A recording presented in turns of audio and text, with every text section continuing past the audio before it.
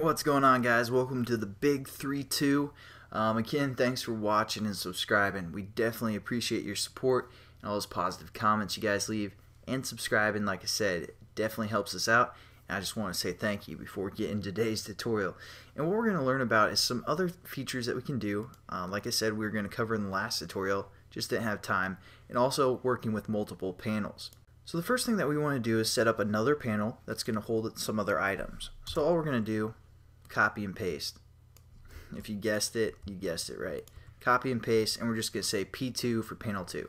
And what we're going to do is we're going to go below these lines or above them, doesn't really matter. And what we're going to do is we're going to create a checkbox. So we're just going to say J checkbox.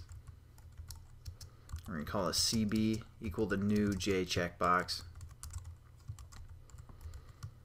And again, we can label this checkbox. Do you love bacon? And uh, obviously that should be a default yes, but uh, we're just gonna you know import our J checkbox so we can use this. And now what we're gonna do is copy and paste. Pretty awesome, right?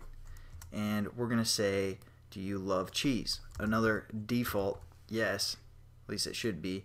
And we're going to call this checkbox 2, and we're going to add these to our second panel. So now what we're going to do is we're just going to say p2 dot add again checkbox 1 and p2 dot add uh, checkbox 2. Now what we need to do, well, we need to add this panel to our J-frame. If you guys knew that, then you are catching on quickly. So all we're going to do is say add. Again, when we use this add, it's referring to our J-frame that we're extending for this class. We're going to say panel 2.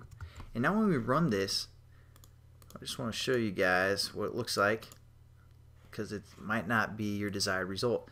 Because all we have is our checkboxes.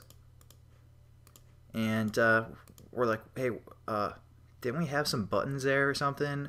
Um, I mean, I don't really care because they didn't do anything, but they should be there, right? Well, what's happening is this is printing over our other panel because our panels are located in the same place by default. So what we want to do is we want to rearrange those panels and how we do that is when we add the panels to the J-frame. Now we can use this parameter where we just add one panel or we can also tell where we want this panel to go. And we do that referring to the class called border layout um, and we're just going to say border layout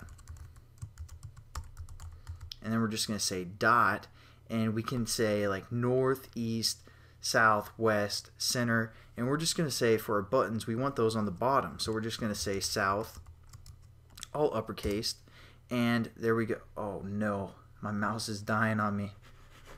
Come on buddy. Make it through this tutorial for me. Alright well we're just gonna okay there we go.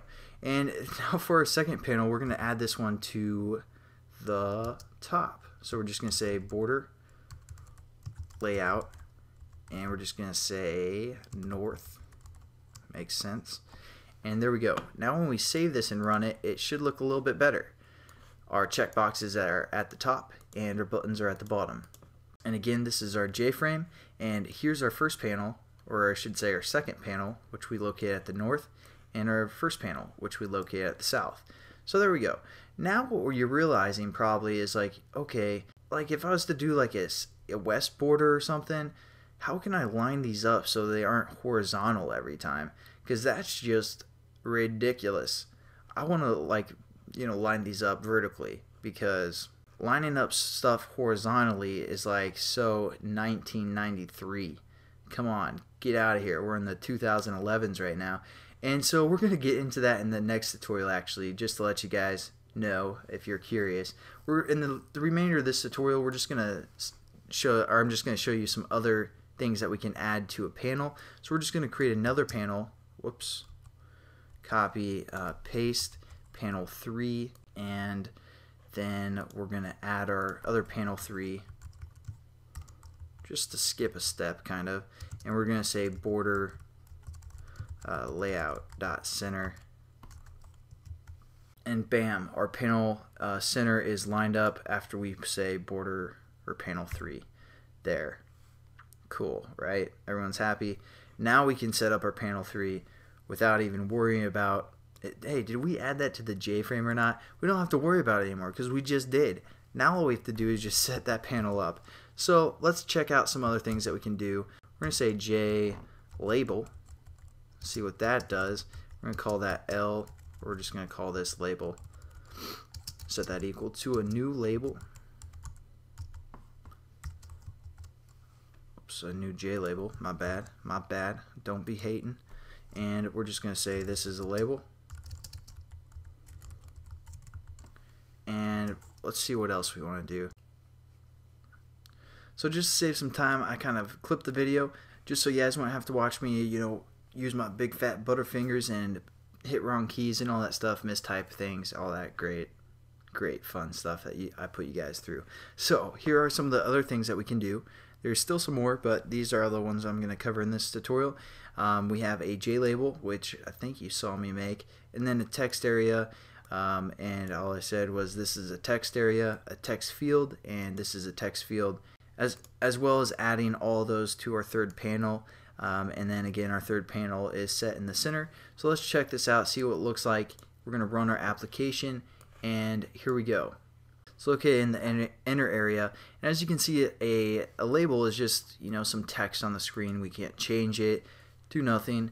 A text area, as you can see here, we can you know delete it, change to it, and you're just like, uh, that's neat, without the apostrophe.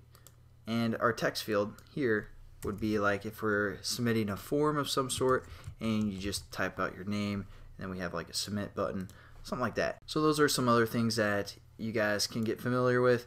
And I'll show you guys you know we'll get into these later as well defining them setting up setting up a little bit better.